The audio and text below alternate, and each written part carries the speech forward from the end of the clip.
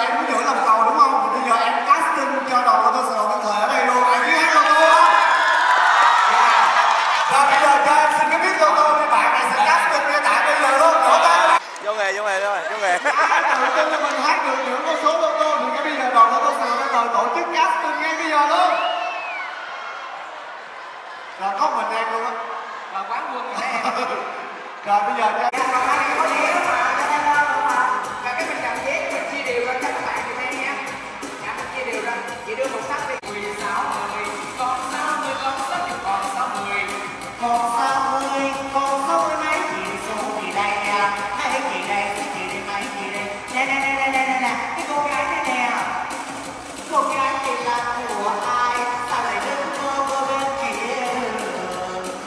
rồi ta thấy yêu em mất rồi.